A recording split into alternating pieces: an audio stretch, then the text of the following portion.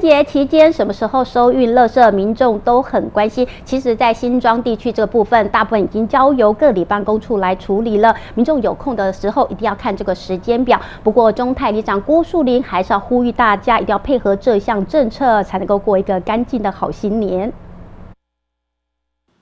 随着农历春节脚步逼近，家家户户都在大扫除。当然，大家也很关心春节期间垃圾收运情况。而新庄区最新的清运情形已公告。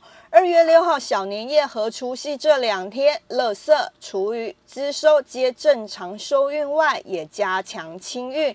至于初一至初三，大家都放假，所以各地采定点服务。初四后就一切恢复正常。对我们那个新庄区清洁队哈，排在二月六号就是除夕的前一天，他要加收垃圾哦，在从下午一点到三点二十啊。第二次的收垃圾是晚上正常收垃圾哈。啊，除夕当天也是第一趟是在早上八点就开始，啊，第二趟是从下午一点开始。那另外大年初一到初三，我停止收垃圾。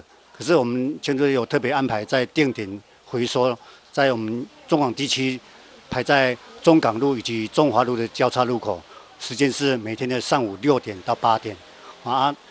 大年初四以后恢复正常。李长表示，其实春节收运时段已行之有年，大家也已经习惯。其实我们清队队规划这个已经为好几年了，所以目前这几年来状况还蛮好的，你们都会遵守这个，在春节期间哦，啊，维护社区的环境卫生哦，不要乱丢垃圾。